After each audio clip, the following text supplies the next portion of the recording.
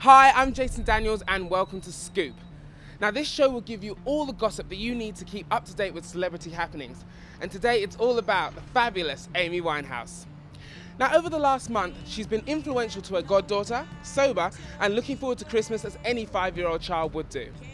She's been overseeing the production of her goddaughter's debut album, introducing Dionne Bromfield, which was released on October 12th under Amy Winehouse's own record label, Lioness Records. Dionne also let slip that she will be the support act for somebody very, very soon, around September time. We'll keep you updated on that precious gem.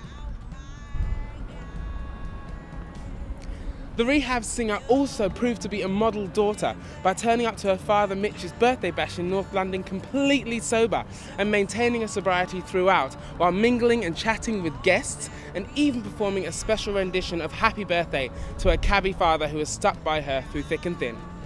And the Back to Black singer is set to rival Father Christmas himself by turning her North London pad into a Christmas grotto after spending six hours and nearly £20,000 on Christmas decorations, including musical lights and dancing Santas.